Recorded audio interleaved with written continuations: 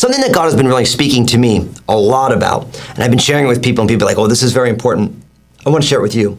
And that's the fact that everything belongs. Let me explain this. We have a tendency to want certain things, and we don't want other things.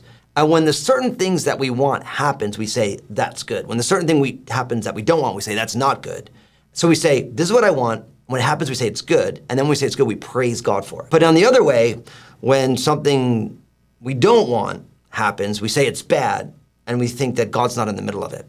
And for all of us, what we have to realize is that we should not be worshiping our preferences and our wants, but we should worship the true and living God. And what God has been teaching me is that, Daniel, everything belongs.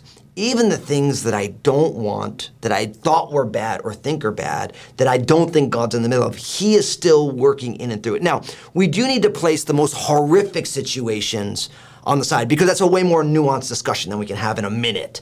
But you have to realize that rather than worshiping what you want, calling it good and saying God's in the middle of that, we need to realize that God is leveraging everything. He's working through everything to make us more like Jesus. And then we can embrace the totality of life, a heart that is surrendered, trusting God. And when we do that, really special fruit will be born by the Spirit. So listen, just remember, everything belongs. If this message is a blessing to you, make sure you share it, share it with the people you love, and God bless you.